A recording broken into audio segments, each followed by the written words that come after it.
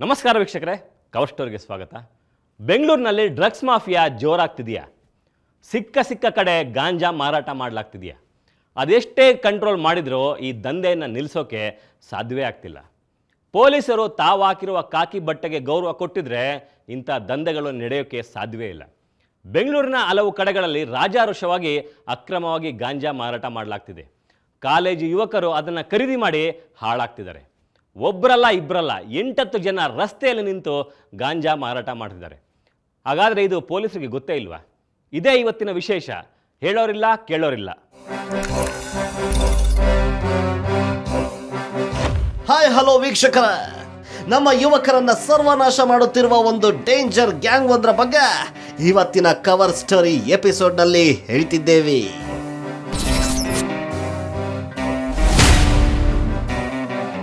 Drugs mafia. ನಮ್ಮ ಯುವ ಜನಾಂಗವನ್ನ ಹಾಳು ಮಾಡುತ್ತಿರುವ ದೊಡ್ಡ ಪಿಡುಗು. ಯಾರು ಎಷ್ಟೇ ಪ್ರಯತ್ನ ಪಟ್ಟರೂ ಈ ಪಿಡುಗನ್ನ ನಿಯಂತ್ರಣ ಮಾಡುವುದಕ್ಕೆ ಸಾಧ್ಯವೇ ಆಗ್ತಿಲ್ಲ. ಗಾಂಜಾ ಎಂಡಿಎಂ ನಶೆ ಏರಿಸೋ ಟ್ಯಾಬ್ಲೆಟ್ ಇವು ಯುವಕರ ಕೈಗೆ ಸಿಗ್ತಿವೆ. ಕವರ್ ಸ್ಟೋರಿ ತಂಡ ಕೂಡ ಹಾಗಾಗಿ ಈ ನಟೋರಿಯಸ್ ದಂಧೆಯ ಬಗ್ಗೆ ಎಪಿಸೋಡ್ಗಳನ್ನ ಮಾಡ್ತಿರ್ತೇವೆ. ಒಂದಷ್ಟು ಪೆಡ್ಲರ್ಗಳನ್ನ ಅರೆಸ್ಟ್ ಮಾಡುತ್ತಿರ್ತೇವೆ. ಆದ್ರೂ ಈ ದಂಧೆ ಮಾತ್ರ ನಿಂತಿಲ್ಲ.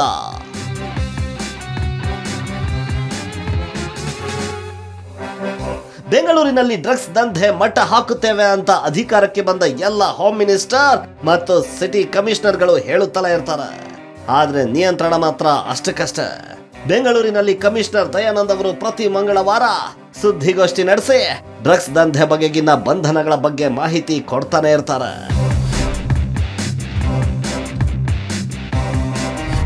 ಆದ್ರೆ ಅವರ ಕೆಳಗಿನ ಸಿಬ್ಬಂದಿ ಅವರ ಆದೇಶಗಳನ್ನ ಪಾಲನೆ ಮಾಡ್ತಿದ್ದಾರಾ? ಖಂಡಿತ ಇಲ್ಲ. ಡ್ರಗ್ಸ್ ದಂಧೆಕೋರರ ಜೊತೆಯೇ ವ್ಯವಹಾರ ಮಾಡುವ ಪೊಲೀಸರಿಗೇನು ನಮ್ಮಲ್ಲಿ ಕಮ್ಮಿ ಇಲ್ಲ. ಗಾಂಜಾ ಮಾಫಿಯಾ ಬಗ್ಗೆ ಕವರ್ ಸ್ಟೋರಿಗೆ ಪತ್ರ. ಕವರ್ ಸ್ಟೋರಿ ತಂಡ ಬೆಂಗಳೂರಿನಲ್ಲಿ ಡ್ರಗ್ಸ್ ಮಾಫಿಯಾ ಬಗ್ಗೆ ತನಿಖೆ ನಡೆಸ್ತಿರುವಾಗಲೇ ನಮಗೊಂದು ಪತ್ರ ಬರುತ್ತೆ. ಬೆಂಗಳೂರಿನ ರಾಮಮೂರ್ತಿ ನಗರ ಪೊಲೀಸರು ಬರದ ಪತ್ರ ಅದು.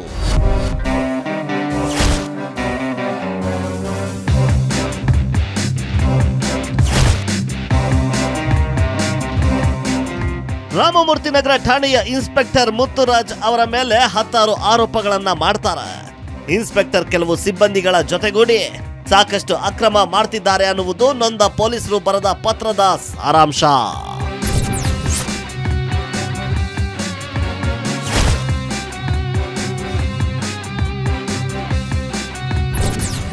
ನೊಂದ ಪೊಲೀಸರ ಹೆಸರಿನಲ್ಲಿ ಬಂದ ಹನ್ನೆರಡು ಪುಟಗಳ ಆ ಪತ್ರಕ್ಕೆ ಯಾರು ಸಹಿಯೂ ಹಾಕಿರಲಿಲ್ಲ.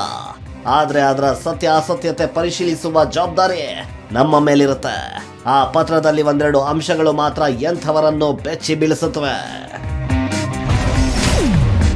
ಪೊಲೀಸರನ್ನ ಹೊಡೆದ್ರು ಕೇಸ್ ಹಾಕದ ಇನ್ಸ್ಪೆಕ್ಟರ್. ರಾಜಾರೋಷವಾಗಿ ಗಾಂಜಾ ಮಾರಾಟಕ್ಕೆ ಅವಕಾಶ. ಶಿಸ್ತಿನ ಇಲಾಖೆಯಾಗಿರುವ ಪೊಲೀಸ್ ಇಲಾಖೆಯಲ್ಲಿ ಯಾರು ಮಾಧ್ಯಮಗಳ ಮುಂದೆ ಮಾತನಾಡೋದಿಲ್ಲ. ಮೇಲಾಧಿಕಾರಿಗಳು ಮಾಡುವ ಅಕ್ರಮಗಳ ವಿರುದ್ಧವೂ? ಎಲ್ಲಿಯೂ ಧ್ವನಿ ಎತ್ತಂಗಿಲ್ಲ. ಆ ಪತ್ರದಲ್ಲಿನ ಅಂಶಗಳನ್ನ ಮುಂದಿಟ್ಕೊಂಡು ತನಿಖೆ ಮಾಡಲು ಕವರ್ ಸ್ಟೋರಿ ತಂಡ ಮುಂದಾಯ್ತು.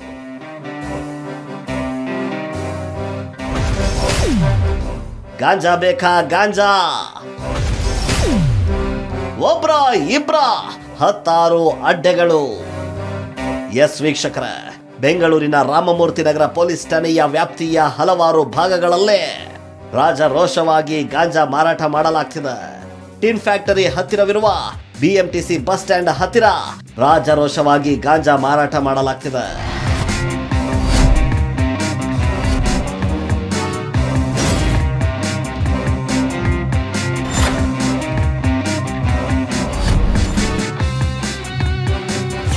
ಬಿಎಂಟಿಸಿ ಬಸ್ ಸ್ಟ್ಯಾಂಡ್ ಹತ್ತಿರ ಒಬ್ರಲ್ಲ ಇಬ್ರಲ್ಲ. ಹತ್ತಾರು ಜನ ಗಾಂಜಾ ಮಾರಾಟ ಮಾಡ್ತಿದ್ದಾರೆ. ಸಾಮಾನ್ಯವಾಗಿ ಪರಿಚಯಸ್ಥರಿಗೆ ಮಾತ್ರ ಈ ಗಾಂಜಾವನ್ನ ಕೊಡ್ತಾರೆ. ಆದ್ರೆ ಇಲ್ಲಿ ಕಂಪ್ಲೀಟ್ಲಿ ಡಿಫ್ರೆಂಟು.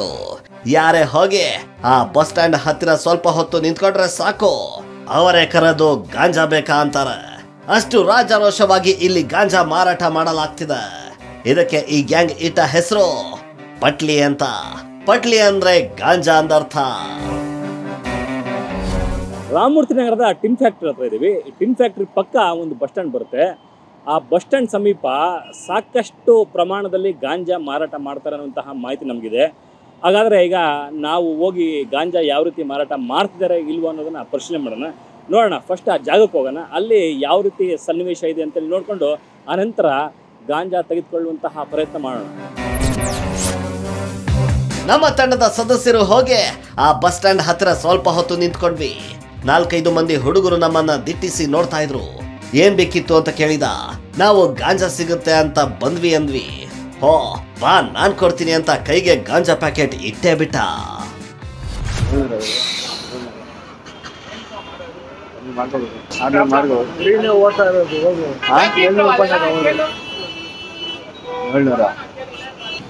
ಚೇಂಜ್ ಆಯ್ತಾ?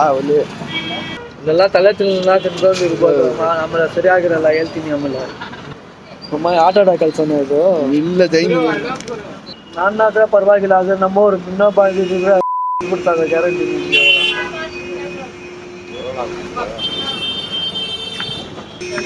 ನೆಕ್ಸ್ಟ್ ಇಲ್ಲಿ ಹಂಗ್ ಬಂದ್ ಮಾಡ್ಬೇಡ ಇಟ್ಕೊಟ್ ಬಿಡ್ತಾರ ಅವ್ರೆ. ಹೇಳ್ತಾ ಇದೀನಿ ಸರಿ ಸರಿ. ನೆಕ್ಸ್ಟ್ ಇಲ್ಲಿ ಇರ್ತೀಯಲ್ಲ ನೀನು?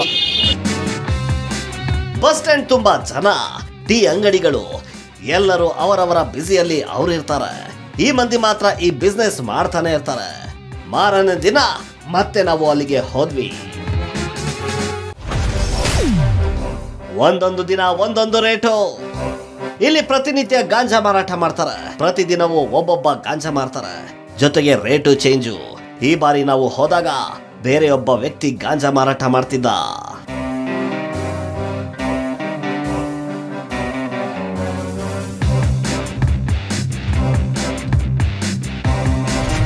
ಇಲ್ವಾ ಅವರು?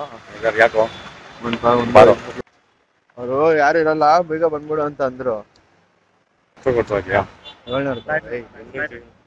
ಐತೆ ಬೈ ಪಕ್ಕ. ಬರ್ತೀನಿ ಆಮೇಲೆ ಹಂಗ್ ನನ್ಗೆ ನನ್ಗೊಂದು ಒಂದ್ ಐದ್ ಪಟ್ಲಿ ಬೇಕು. ಹ್ಮ್. ಇರ್ತೀರಲ್ಲ ನೀವೇ ಇರ್ತೀರಲ್ಲ? ಬೈ ಎಷ್ಟೊತ್ತು ಬರ್ಲಿ? ಒಂಬತ್ತು ಗಂಟೆ ಯಾವಾಗಾದ್ರೂ ಬರೋದು. ಒಂಬತ್ತು ಗಂಟೆ ಅಲ್ಲ ಬೈ.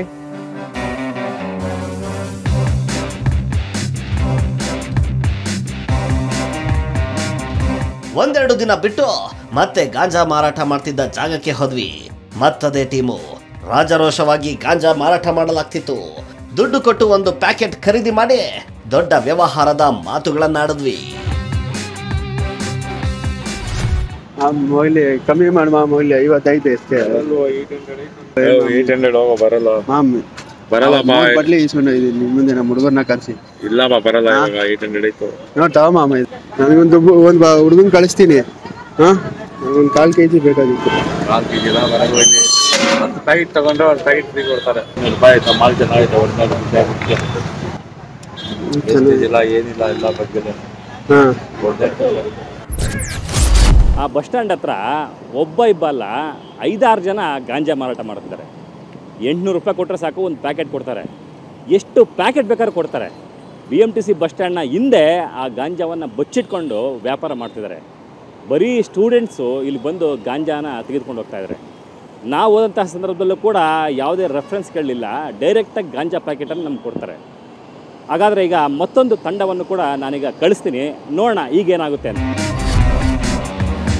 ಗಾಂಜಾ ಮಾಫಿಯಾ ಅದೆಷ್ಟು ರಾಜಾರೋಷವಾಗಿ ನಡೀತಿದೆ ಅಂದ್ರೆ ನಮ್ಮ ಕಣ್ಣೆದುರೇ ಕಾಲೇಜು ಹುಡುಗರು, ಯುವಕರು ಗಾಂಜಾ ಪ್ಯಾಕೆಟ್ಗಳನ್ನ ಖರೀದಿಸುತ್ತಿದ್ರು.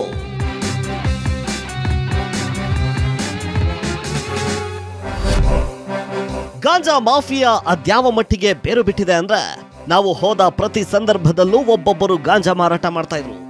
ಕನಿಷ್ಠ ಅಂದ್ರೂ ಎಂಟರಿಂದ ಹತ್ತು ಮಂದಿ ಗಾಂಜಾ ಪೆಡ್ಲರ್ಗಳಿದ್ದಾರೆ.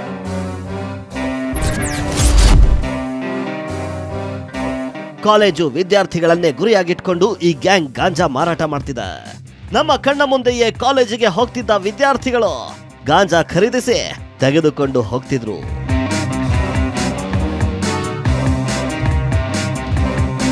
ಮರುದಿನ ಮತ್ತೆ ಅದೇ ಜಾಗಕ್ಕೆ ಹೋದ್ವಿ. ಮತ್ತದೇ ಭರ್ಜರಿ ಗಾಂಜಾ ವ್ಯಾಪಾರ.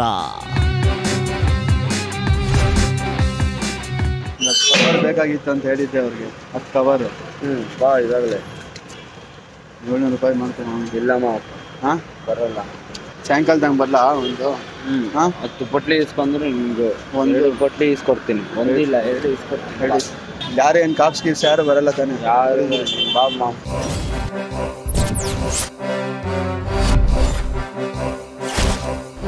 ಬೆಂಗಳೂರಿನ ಯುವ ಜನರ ಪಾಲಿಗೆ ಮಾರಕವಾಗುತ್ತಿರುವ ಈ ಗಾಂಜಾ ಮಾಫಿಯಾ ಕಂಟ್ರೋಲ್ ಮಾಡೋದು ಅಷ್ಟು ಕಷ್ಟವಾ? ಖಂಡಿತ ಇಲ್ಲ. ಇಂತಹ ದಂಧೆಯನ್ನ ಮಟ್ಟ ಹಾಕುವ ಮನಸ್ಸು ಪೊಲೀಸರಿಗೆ ಇರಬೇಕಷ್ಟೆ. ಎಲ್ಲ ನಮ್ಮ ಯುವಕರ ಕೈಗೆ ತುಂಬ ಸುಲಭವಾಗಿ ಈ ಗಾಂಜಾ ಸಿಗ್ತಾ ಇದೆ. ಒಬ್ರಲ್ಲ ಇಬ್ಬರಲ್ಲ ಎಂಟತ್ತು ಮಂದಿ ಗಾಂಜಾ ಮಾರಾಟ ಮಾಡ್ತಿದ್ದಾರೆ. ಹಾಗಾದರೆ ಇಲ್ಲಿನ ಪೊಲೀಸರಿಗೆ ಈ ವಿಚಾರ ಗೊತ್ತೇ ಇಲ್ವಾ? ಅಥವಾ ಗೊತ್ತಿದ್ರೂ ಸುಮ್ಮನೆ ಇದ್ದಾರಾ ಪೊಲೀಸರ ಮೇಲೆ ಅನುಮಾನ ಹೆಚ್ಚಾಗಲು ಮತ್ತೊಂದು ಪ್ರಮುಖ ಕಾರಣ ಕೂಡ ಇದೆ. ಅದನ್ನು ಹೇಳ್ತೀವಿ, ಕೇಳಿ. ಬೆಂಗಳೂರಿನ ಯುವ ಜನರ ಪಾಲಿಗೆ ಮಾರಕವಾಗುತ್ತಿರುವ ಈ ಗಾಂಜಾ ಮಾಫಿಯಾ ಕಂಟ್ರೋಲ್ ಮಾಡೋದು ಅಷ್ಟು ಕಷ್ಟವ. ರಾಮಮೂರ್ತಿ ನಗರ ಸ್ಟೇಷನ್ ಇನ್ಸ್ಪೆಕ್ಟರ್ ಮುತ್ತುರಾಜ್ ಅವರಿಗೆ ಈ ಬಗ್ಗೆ ಮಾಹಿತಿ ಇದ್ರು ಮಂತ್ಲಿ ತಗೊಂಡು ಸುಮ್ಮನಿದ್ದಾರೆ ಅಂತ ಅದೇ ಠಾಣೆಯ ಪೊಲೀಸರು ನಮಗೆ ಪತ್ರ ಬರೆದಿದ್ರು.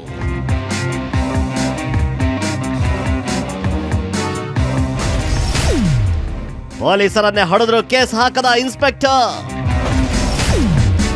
ಕವರ್ ಸ್ಟೋರಿಯಲ್ಲಿ ಎಕ್ಸ್ಕ್ಲೂಸಿವ್ ದೃಶ್ಯಗಳು. ಎಸ್ ವೀಕ್ಷಕರ, ಕವಸ್ಟರಿ ಸ್ಟೋರಿ ತಂಡಕ್ಕೆ ಬರೆದ ಪೊಲೀಸರ ಅನಾಮಧೇಯ ಪತ್ರದಲ್ಲೇ ಇಂತಹದೊಂದು ಶಾಕಿಂಗ್ ಸತ್ಯ ನಮ್ಮ ಗಮನಕ್ಕೆ ಬಂದಿತ್ತು. ಅದನ್ನ ತನಿಖೆ ಮಾಡಲು ನಾವು ಪೊಲೀಸರ ಮೇಲೆ ಗಲಾಟೆ ನಡೆದ ಹೊರಮಾವು ಸಿಗ್ನಲ್ ಬಳಿ ಇರುವ ಭಗಿನಿ ಬಾರ್ ಅಂಡ್ ರೆಸ್ಟೋರೆಂಟ್ಗೆ ಹೋದ್ವಿ.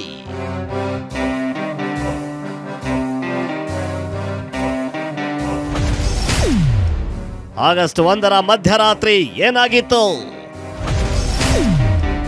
ಪೊಲೀಸರ ಮೇಲೆ ಅಟ್ಯಾಕ್ ಆಗಿದ್ದು ಸತ್ಯವಾ? ಯಾವುದೇ ಒಂದು ವಿಷಯವನ್ನ ಸ್ಥಳ ಪರಿಶೀಲಿಸದೆ ಯಾರನ್ನು ವಿಚಾರಿಸದೆ ನಮಗೆ ಯಾವುದೇ ಸತ್ಯ ಗೊತ್ತಾಗೋದಿಲ್ಲ. ಬಘಿನಿ ರೆಸ್ಟೋರೆಂಟ್ ಸಂಪೂರ್ಣ ಸುತ್ತಾಡಿ. ಅಲ್ಲಿದ್ದ ಸಿಬ್ಬಂದಿಗಳನ್ನ ವಿಚಾರಿಸಿದ್ರು ಯಾವುದೇ ಮಾಹಿತಿ ಸಿಗ್ಲಿಲ್ಲ.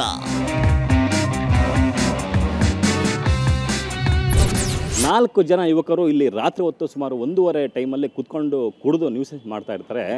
ಜೋರ್ ಜೋರು ಶಬ್ದ ಕೂಡ ಮಾಡ್ತಿರ್ತಾರೆ. ಇದನ್ನು ನೋಡಿದಂತಹ ಪಕ್ಕದ ನಿವಾಸಿಗಳು ಕಂಟ್ರೋಲ್ ರೂಮ್ಗೆ ಮಾಹಿತಿ ಕೊಡ್ತಾರೆ. ಇಲ್ಲಿ ನ್ಯೂಸೆನ್ಸ್ ಆಗ್ತಾ ಇದೆ ಅಂತೇಳಿ. ಕಂಟ್ರೋಲ್ ರೂಮು ನೇರವಾಗಿ ರಾಮಮೂರ್ತಿ ನಗರ ಪೊಲೀಸರಿಗೆ ಮಾಹಿತಿಯನ್ನು ಕೊಡ್ತಾರೆ. ಯಾಕಂದರೆ ಗಲಾಟೆ ನಡೆತಿರುವಂತಹ ಜಾಗ, ಅಂದರೆ ನ್ಯೂಸೆನ್ಸ್ ನಡೆತಿರುವಂತಹ ಜಾಗ ರಾಮಮೂರ್ತಿ ನಗರ ಪೊಲೀಸರಿಗೆ ಬರುವಂತಹ ಹಿನ್ನೆಲೆಯಲ್ಲಿ ಕಂಟ್ರೋಲ್ ರೂಮ್ ಅವರು ರಾಮೂರ್ತಿ ನಗರ ಪೊಲೀಸರಿಗೆ ಹೋಗಿ ಅಟೆಂಡ್ ಮಾಡಿ ಅಂತೇಳಿ ಸೂಚನೆ ಕೂಡ ಕೊಡ್ತಾರೆ. ಇಬ್ಬರು ಕಾನ್ಸ್ಟೇಬಲ್ ಕೂಡ ಆ ಟೈಮಲ್ಲಿ ಈ ಜಾಗಕ್ಕೆ ಬರ್ತಾರೆ. ಒಬ್ಬರು ಹುಸೇನ್ ಅಂತ ಮತ್ತೊಬ್ಬರು ಅನಿಲ್ ಅಂತೇಳಿ. ಬಂದಂತಹ ಸಂದರ್ಭದಲ್ಲೇ ಇಲ್ಲಿ ಆ ನಾಲ್ಕು ಜನ ಯುವಕರು ಹಾಗೆ ಕುಡಿತಾ ಕೂತ್ಕೊಂಡಿರ್ತಾರೆ. ಪೊಲೀಸರು ಪ್ರಶ್ನೆ ಕೂಡ ಮಾಡ್ತಾರೆ, ಯಾಕೆ ಗಲಾಟೆ ಮಾಡ್ತಿದ್ರು ಅಂತ ಆ ಸಂದರ್ಭದಲ್ಲಿ ಸಾಕಷ್ಟು ವಾಗ್ವಾದ ಕೂಡ ನಡೆಯುತ್ತೆ, ಇಬ್ಬರ ನಡುವೆ ಜಗಳ ಕೂಡ ಆಗುತ್ತೆ. ಒಂದು ಹಂತದಲ್ಲಿ ಪೊಲೀಸರ ಲಾಠಿಯನ್ನು ಕೂಡ ಅವರು ಕಿತ್ಕೊಂಡು ಪೊಲೀಸರನ್ನೇ ಅಟ್ಟಿಸ್ಕೊಂಡು ಹೋಗಿದ್ರು ಅನ್ನುವಂತಹ ಮಾಹಿತಿ ಏನು ಬರ್ತಾ ಇದೆ? ಅದು ಸತ್ಯವಾ ಸುಳ್ಳ ಅನ್ನೋದನ್ನ ಪರಿಶೀಲನೆ ಮಾಡಬೇಕಾಗುತ್ತೆ. ಈ ಬಗಿರಿ ರೆಸ್ಟೋರೆಂಟಲ್ಲಿ ಒಂದಷ್ಟು ಸಿ ಸಿ ಟಿ ಕೂಡ ಇದ್ದಾವೆ ಆ ಸಿ ಸಿ ಟಿ ವಿಗಳನ್ನು ಚೆಕ್ ಮಾಡಿದಂತಹ ಸಂದರ್ಭದಲ್ಲಿ ಗೊತ್ತಾಗುತ್ತೆ. ಅವತ್ತು ನಿಜಕ್ಕೂ ಕೂಡ ಗಲಾಟೆ ನಡೀತಾ ಇಲ್ಲ ಅಂತ. ನಾವು ಭಗಿನಿ ಬಾರ್ನ ಸಿಬ್ಬಂದಿಯನ್ನ ವಿಚಾರಿಸ್ತಿರುವಾಗಲೇ ನಮಗೊಂದು ಫೋನ್ ಬರುತ್ತೆ. ಇಲ್ಲಿ ಅವತ್ತು ರಾತ್ರಿ ಪೊಲೀಸರ ಮೇಲೆ ಅಮಾನುಷವಾಗಿ ಹಲ್ಲೆ ನಡೆದಿರೋದು ಸತ್ಯ ಅಂತ ನಮಗೆ ಖಚಿತವಾಗುತ್ತೆ. ಪೊಲೀಸರನ್ನ ಅಟ್ಟಿಸ್ಕೊಂಡು ಹೋಗಿ ಹೊಡಿತಾರೆ. ಬಾಯಿಗೆ ಬಂದಂಗೆ ಬೈತಾರೆ. ಪೊಲೀಸರನ್ನು ಒಡೆದ ಪುಂಡ್ರನ್ನ ಪೊಲೀಸ್ ಠಾಣೆಗೂ ಕರ್ಕೊಂಡು ಬರ್ತಾರೆ. ಆದರೆ ಯಾವುದೇ ಕೇಸ್ ಹಾಕದೆ ಬಿಟ್ಟು ವಾಪಸ್ ಕಳಿಸ್ತಾರೆ. ಏನಿದರ ಅರ್ಥ? ನೀವೇ ಅರ್ಥ ಮಾಡ್ಕೊಳ್ಳಿ. ರಾಮಮೂರ್ತಿ ನಗರ ಪೊಲೀಸ್ ಠಾಣಾ ವ್ಯಾಪ್ತಿಯಲ್ಲೇ ಕಲ್ಲಂಕಲ್ಲ ಬೀದಿ ಬೀದಿಗಳಲ್ಲಿ ಗಾಂಜಾ ಮಾರಾಟ ಮಾಡ್ತಿದ್ದಾರೆ. ಅದರ ಜೊತೆಗೆ ಇಲ್ಲಿನ ಪೊಲೀಸ್ ಸಿಬ್ಬಂದಿಯನ್ನ ಪುಂಡರು ಅಟ್ಟಿಸಿಕೊಂಡು ಹೊಡಿತಾರೆ ಅನ್ನೋ ಬೆಚ್ಚಿ ಬೀಳುವ ಮಾಹಿತಿಯನ್ನ ಕವರ್ ಸ್ಟೋರಿ ತಂಡ ತನ್ನ ತನಿಖೆ ವೇಳೆ ಕಂಡುಕೊಂಡಿದ. ಭಗಿನಿ ಬಾರ್ ಅಂಡ್ ರೆಸ್ಟೋರೆಂಟ್ನಲ್ಲಿ ನಾವು ತನಿಖೆ ಮಾಡ್ತಿರುವಾಗ್ಲೇ ಅಲ್ಲಿನ ಮ್ಯಾನೇಜರ್ ಸತೀಶ್ ನಮ್ಗೆ ಫೋನ್ನಲ್ಲಿ ಒಂದಷ್ಟು ಮಾಹಿತಿ ನೀಡ್ತಾರೆ. ಅಲ್ಲಿ ಒಂದು ಹೋಟೆಲ್ ಇಲ್ಲ ಸರ್ ಅಲ್ಲಿ ಸಿಕ್ಕದ ಪಾರ್ಕಿಂಗ್ ಅಂತ ಮೇನ್ ರೋಡ್ ಅಲ್ಲಿ. ಹಾಂ ಹೌದು ಹಾಂ ಸರ್ ಅಲ್ಲಾಗಿರೋದು. ಏನು ಏನು ಸರ್ ಆ್ಯಕ್ಚುಲಿ ಅಲ್ಲಿ ಪೊಲೀಸರಿಗೆ ಅವಾಜ್ ಹಾಕಿದ್ರಂತೆ. ಹಾಂ ಓಕೆ ಪೊಲೀಸ್ ಅಲ್ಲಿ ಸ್ಟೇಷನ್ ಅಲ್ಲಿ ಕೂರಿಸ್ಕೊಂಡಿದ್ರಂತೆ ನಾ ಕೊಂಡಿಸ್ಕೊಂಡಿದ್ರು ಅಷ್ಟೇ. ಹೋಗಿಲ್ಲ, ನಮ್ದು ಸಂಬಂಧ ಇಲ್ಲಲ್ಲ, ನಾವು ಹೋಗಿಲ್ಲ. ಹೊರಗಡೆ ಆ ಕಡೆ ರೋಡಲ್ಲೇ ಆಗಿದ್ದು, ನಮ್ಮ ಒಳಗಡೆ ನಮ್ಮ ಪಾರ್ಕಿಂಗ್ ಅಲ್ಲೂ ಆ ಕಡೆ ರೋಡಲ್ಲಿ ಅಲ್ಲಿ ಅಲ್ಲೇ ಆಗಿರೋದು. ಪಾರ್ಕಿಂಗ್ ಹತ್ತಿರ ಆಗಿರೋದು. ಯಾರು ಕುಡಿದು ಬಿಟ್ಟು ಪೊಲೀಸರಿಗೆ ಆವಾಜ್ ಹಾಕಿದ್ದಾರಂತೆ? ಪೊಲೀಸರು ಕರೆದುಕೊಂಡು ಹೋಗಿ ಕೂಡಿಸ್ಕೊಂಡಿದ್ದಾರಂತೆ. ನಮಗೂ ಅದಕ್ಕೂ ಸಂಬಂಧವಿಲ್ಲ. ಹೊರಗಡೆ ಪಾರ್ಕಿಂಗ್ ಹತ್ತಿರ ಗಲಾಟೆ ಆಗಿರೋದು. ಅಂತ ಹೇಳಿದ್ರು. ಪೊಲೀಸರನ್ನ ಅಟ್ಟಿಸಿಕೊಂಡು ಹೋಗಿದ್ದು ಸತ್ಯ ಅನ್ನೋದಕ್ಕೆ ಸುತ್ತಮುತ್ತಲಿನವರನ್ನ ವಿಚಾರಿಸಿದಾಗ ನಮಗೊಂದು ಸ್ಫೋಟಕ ವಿಡಿಯೋ ಲಭ್ಯವಾಯಿತು. ಈ ವಿಡಿಯೋವನ್ನ ನೋಡಿದ ಎಂಥವರಿಗೆ ಆಗ್ಲಿ, ಮೈ ಕದಿಯುತ್ತೆ. ಪೊಲೀಸರನ್ನ ಕೆಟ್ಟ ಕೊಳಕು ಪದಗಳಿಂದ ಬೈದು ಅಕ್ಷರಶಃ ಓಡಿ ಹೋಗುವಂತೆ ಮಾಡ್ತಾರೆ. ಇದರಲ್ಲಿರುವ ಪೊಲೀಸರು ಜೀವ ರಕ್ಷಣೆಗಾಗಿ ಆ ಪುಂಡರಿಂದ ತಪ್ಪಿಸಿಕೊಳ್ಳುವ ಪ್ರಯತ್ನ ಅತ್ಯಂತ ಸ್ಪಷ್ಟವಾಗಿದೆ. ಕಂಟ್ರೋಲ್ ರೂಮ್ಗೆ ಬಂದ ದೂರನ್ನ ಪರಿಶೀಲಿಸಲು ತೆರಳಿದ್ದ ಹುಸೇನ್ ಮತ್ತು ಅನಿಲ್ ಎಂಬ ಪೆದಗಳು ಹಲ್ಲೆಗೊಳಗಾದವರು ಅಂತ ಹೇಳಲಾಗ್ತಿದೆ.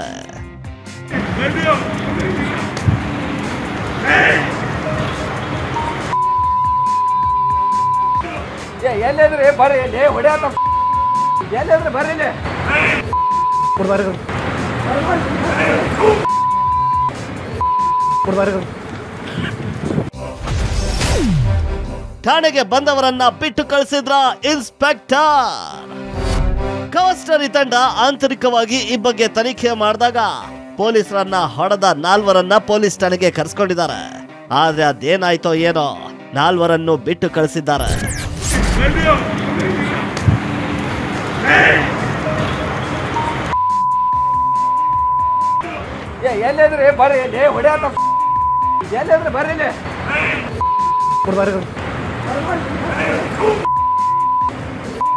ಬರ್ರಿ ಘಟನೆ ಸಂಬಂಧ ಹಲ್ಲೆಗೊಳಗಾದ ಪೊಲೀಸ್ ಪೇದೆಗಳನ್ನ ಈ ಬಗ್ಗೆ ವಿಚಾರಿಸಲಾಯಿತು.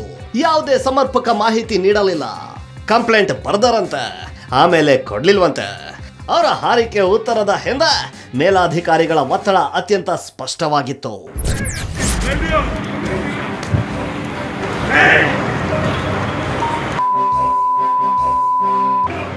ಎಲ್ಲಿದ್ರೆ? ಬರ್ರಿ ಬರ್ರಿ ಇಲ್ಲಿ.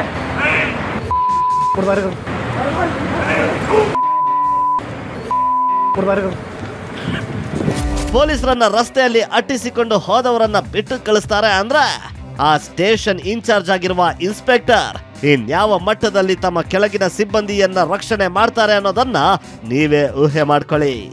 ಪೊಲೀಸ್ ಇಲಾಖೆ, ಕುಟುಂಬ ಅಂತ ಭಾವಿಸೋ ಸೀನಿಯರ್ ಆಫೀಸರ್ಗಳು ಈ ಬಗ್ಗೆ ಏನು ಕ್ರಮ ಕೈಗೊಳ್ತಾರೋ ನೋಡೋಣ. ಪೊಲೀಸರ ಮೇಲೆ ಹಲ್ಲೆ ಮಾಡಿದವರನ್ನ ಬಿಟ್ಟು ಕಳಿಸ್ತಾರೆ ಅಂದರೆ ಹಾಗೆ ಕಳಿಸಿದವರು ನಿಜಕ್ಕೂ ಕೂಡ ಪೊಲೀಸರ. ಅಂತ ಪೊಲೀಸರನ್ನ ರಕ್ಷಣೆ ಮಾಡ್ತಿರೋರು ಅವ್ರಿನ್ನೆಂಥ ಸೂಪರ್ ಕಾಪ್ಗಳು ಇರಬೇಕಲ್ವ? ಮಿಕ್ಕಿದ್ದು ಅವ್ರಿಗೆ ಬಿಟ್ಟಿದ್ದು. ಈಗಲಾದರೂ ಒಡಿಸ್ಕೊಂಡ ಪೊಲೀಸರಿಗೆ ನ್ಯಾಯ ಕೊಡಿಸಿ ಅಂತ ಹೇಳ್ತಾ ಈ ವಾರದ ಎಪಿಸೋಡ್ ಮುಗಿಸ್ತಾ ಇದ್ದೀವಿ ನೇರ ದಿಟ್ಟ ನಿರಂತರ ಸುದ್ದಿಗಾಗಿ ನೋಡ್ತಾ ಇರಿ ಏಷ್ಯಾ ನೆಟ್ ಸುವರ್ಣ ನ್ಯೂಸ್.